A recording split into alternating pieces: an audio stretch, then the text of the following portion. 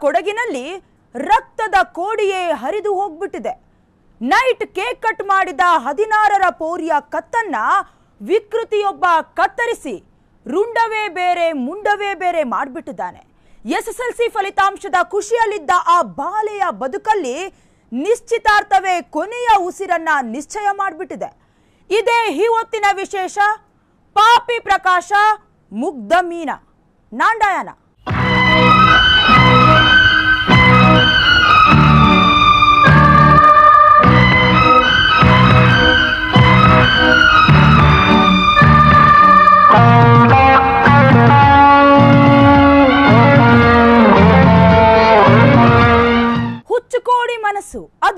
ಹದಿನಾರರ ವಯಸ್ಸು. ಆಸೆಗಳನ್ನ ಆಕಾಶಕ್ಕೆ ಮುಟ್ಟುವಷ್ಟು ಎತ್ತರಕ್ಕೆ ಕಟ್ಕೊಂಡು ಜಗತ್ತನ್ನೇ ಮರೆತು ಕನಸು ಕಾಣ್ತಾ, ತನ್ನ ಭವಿಷ್ಯದತ್ತ ಯೋಚನೆ ಮಾಡ್ತಾ ಶಾಲೆಗೋಗ್ತಾ ಇದ್ದ ಕೊಡಗಿನ ಮುಗ್ಧ ಬಾಲೆಯ ಧಾರುಣ ಕೊಲೆ ಕತೆ ಇದು.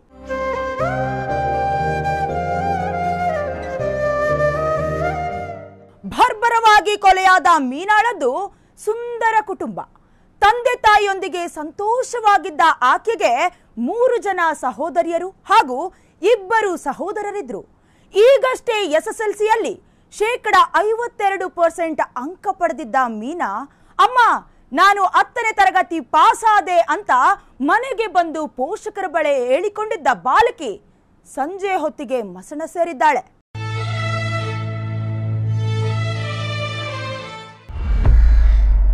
ಅಷ್ಟಕ್ಕೂ ಕೊಲೆಗೆ ಕಾರಣ ಏನು ಗೊತ್ತಾ? ಕೊಲೆಯಾದ ಅಪ್ರಾಪ್ತ ಬಾಲಕಿ ಮೀನಾಗೆ ವಿವಾಹ ಮಾಡೋದಕ್ಕೆ ಪೋಷಕರು ಮುಂದಾಗಿದ್ರು. ಪಾಪಿ ಪ್ರಕಾಶ್ ಜೊತೆ ನಿನ್ನೆ ನಿಶ್ಚಿತಾರ್ಥ ಮಾತುಕತೆ ನಡೆಸಿದ್ದಾರೆ. ಅಪ್ರಾಪ್ತ ಬಾಲಕಿಯ ಮದುವೆ ವಿಚಾರ ಗ್ರಾಮಸ್ಥರ ಗಮನಕ್ಕೆ ಬಂದಿದ್ದು ಸಮಾಜ ಕಲ್ಯಾಣ ಇಲಾಖೆಗೆ ದೂರು ನೀಡಿದ್ದಾರೆ. ಕೇವಲ ಹದಿನಾರು ವರ್ಷ ಆಗಿದ್ದ ಕಾರಣಕ್ಕಾಗಿ ಸಮಾಜ ಕಲ್ಯಾಣ ಅಧಿಕಾರಿಗಳು ಎಂಗೇಜ್ಮೆಂಟ್ ಕ್ಯಾನ್ಸಲ್ ಮಾಡಿದ್ದಾರೆ. ಇದನ್ನೇ ಕಾರಣವಾಗಿಟ್ಕೊಂಡ ಹಮ್ಮಿಯಾಲ ಗ್ರಾಮದ ಮೂವತ್ನಾಲ್ಕು ವರ್ಷದ ಮೊನ್ನಂಡ ಪ್ರಕಾಶ್ ರಿವೆಂಜ್ ರೂಪದಲ್ಲಿ ರುಂಡ ಚೆಂಡಾಡಿದ್ದಾನೆ.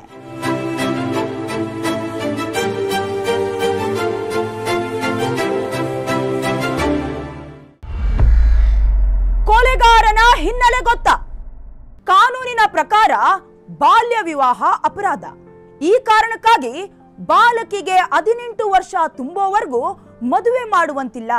ವೇಟ್ ಮಾಡಿ ಎಂದು ನಿಶ್ಚಿತಾರ್ಥ ನಿಲ್ಲಿಸಿದ್ರು. ಆದ್ರೆ ಅಷ್ಟರಲ್ಲೇ ರೋಸಿ ಹೋಗಿ ರಾಕ್ಷಸನಂತಾಗಿದ್ದ ನಿಶ್ಚಿತಾರ್ಥ ಮಾಡ್ಕೊಳ್ಬೇಕಾಗಿದ್ದ ಪ್ರಕಾಶ್ ಏಕಾಏಕಿ ಸಂಜೆ ಐದುವರೆಗೆ ಮನೆಗೆ ನುಗ್ಗಿ ಹುಡುಗಿಯ ತಂದೆ ತಾಯಿ ಮೇಲೆ ಹಲ್ಲೆ ಮಾಡಿ ನಂತರ ಮೀನಾಳನ್ನ ನೂರು ಮೀಟರ್ನಷ್ಟು ದೂರ ನಿರ್ಜನ ಪ್ರದೇಶಕ್ಕೆ ಎಳೆದುಕೊಂಡು ಹೋಗಿ ಊರಿನ ದಾರಿಯಲ್ಲೇ ಅಪ್ರಾಪ್ತ ಬಾಲಕಿಯ ತಲೆಯನ್ನ ಭರ್ಬರವಾಗಿ ಕೊಚ್ಚಿ ಕಡಿದು ಹಾಕಿದ್ದ. ಹತ್ಯೆ ಮಾಡಿರುವ ಸ್ಥಳವೆಲ್ಲ ಸಂಪೂರ್ಣ ರಕ್ತಮಯವಾಗಿದೆ. ವಿಕೃತ ಮನಸ್ಸಿನ ಪಾಪಿ ಪ್ರಕಾಶ್ ನಿನ್ನೆ ಸಂಜೆ ಬಾಲಕಿಯ ಹತ್ಯೆ ಮಾಡಿ ಬಳಿಕ ತಲೆ ಕತ್ತರಿಸಿಕೊಂಡು ಹೋಗಿದ್ದಾನೆ. ಕೇಸ್ನ ಜಾಡು ಹಿಡಿದ ಪೊಲೀಸರು ಇನ್ವೆಸ್ಟಿಗೇಷನ್ ಶುರು ಮಾಡಿದ್ರು.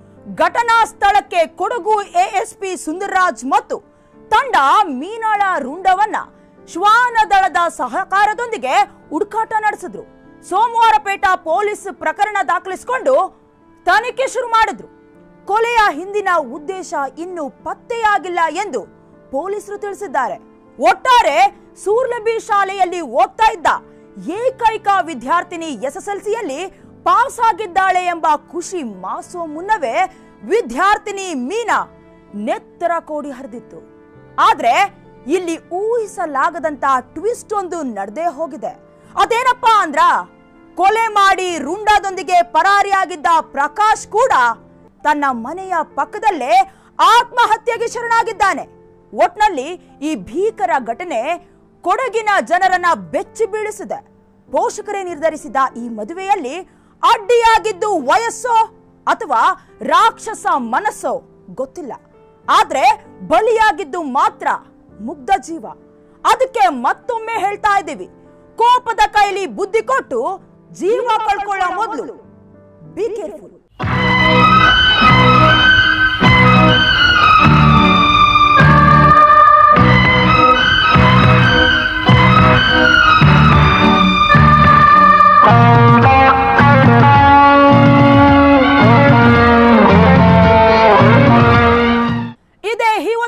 ಯಶ ಪಾಪಿ ಪ್ರಕಾಶ ಮುಗ್ದೆ ಮೀನಾ.